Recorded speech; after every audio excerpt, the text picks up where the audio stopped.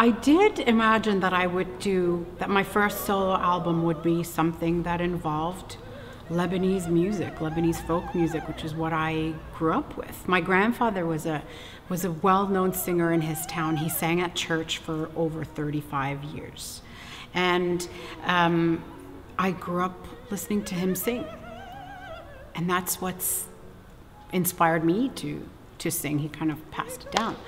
So that's what I imagined I would do. I didn't expect to be doing a a bel canto album. However, in the last couple of years, my career has kind of taken the bel canto path, and so it's completely logical and really, really exciting for me.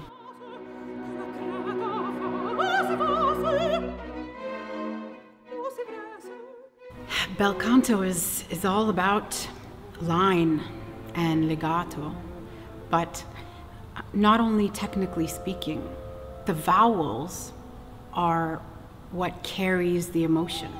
And so when you when you take the emotion and you marry it to the musical phrase and then you just go, then that's bel canto in its most exciting form.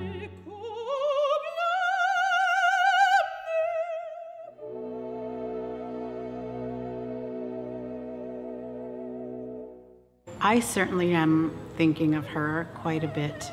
If I could go back, it would have been in the 1830s and early 40s when she was premiering these pieces to see what she was like, what she was like to work with, and how she studied her music and what her voice sounded like, and wondering if it's in any way similar to mine. Um, because I, am singing her repertoire, and so we have we must have something in common in terms of the you know the mechanism of the, the way the throat works. But she obviously had a huge palette of colors that she could access.